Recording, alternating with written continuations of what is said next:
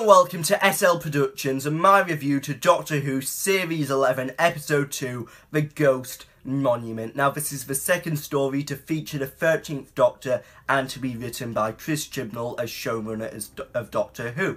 But before I start this review, I want to give a shout out to Drew Spicer. Fantastic Doctor Who videos on his channel as well as other fantastic videos. Please go and subscribe to him and yeah, starting with this review. So what are my overall thoughts on this episode? So the scenery in this story was great, really did like the scenery. Also, really did like the CGI, thought the CGI was amazing in this story, a lot better than The Woman Who Fell to Earth. However, the plot seemed to be a bit bland, it could have had more development, it was very basic.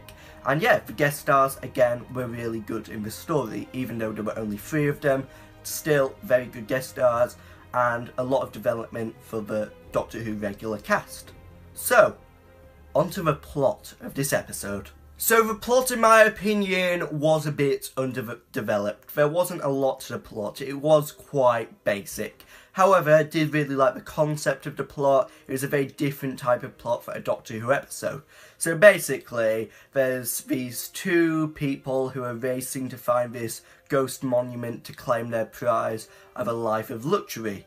They do rescue the Doctor and her companions at the beginning of this episode. They land on this planet and meet the director for this competition. He sends them off on this mission to find the Ghost Monument, which turns out to be the TARDIS, which is materialising, then dematerialising, so the Doctor obviously helps them on their mission. So yeah, they come across different traps throughout the episode, such as these weird cloth things, which really did remind me of Harry Potter and in my opinion, I couldn't take them seriously, as it felt more like Harry Potter than Doctor Who. So yeah, that's a bit of a negative of this episode. However, I really did like the CGI in this episode, really did like that scene with Ryan when he started shooting at these robots and then they started shooting back and it all backfired on him. Another metaphor in this episode, guns are bad. Last episode, knives were bad.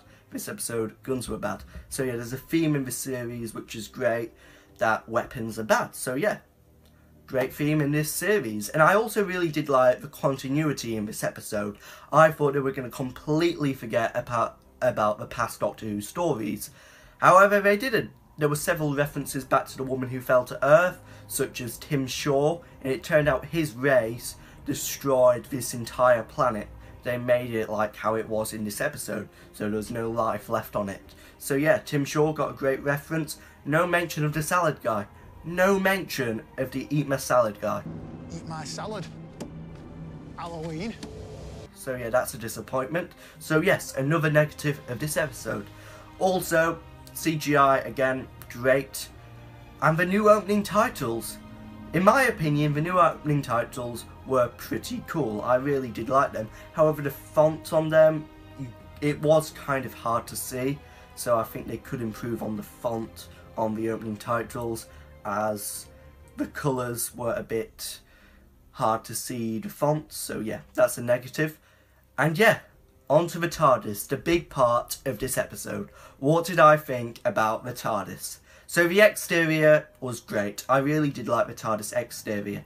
However, the interior, I didn't like as much. The reason for that is that I felt that it was a bit busy inside the TARDIS. It felt like too much was going in. It felt a bit too cramped, in my opinion.